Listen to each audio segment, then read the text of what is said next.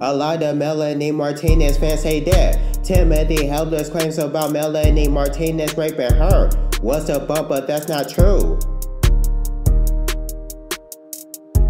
They said that Timothy admitted that she lied about Melanie Martinez doing that in the Instagram story, but the picture of it was photoshopped.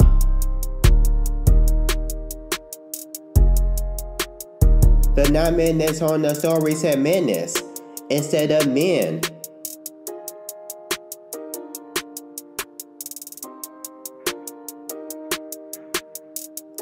The situation happened a long time ago, but people brought it up because Melanie Martinez released her new album Portals.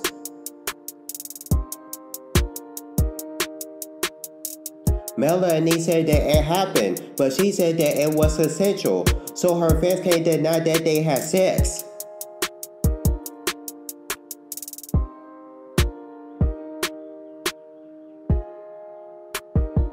The hard thing to know is if it was consensual or not.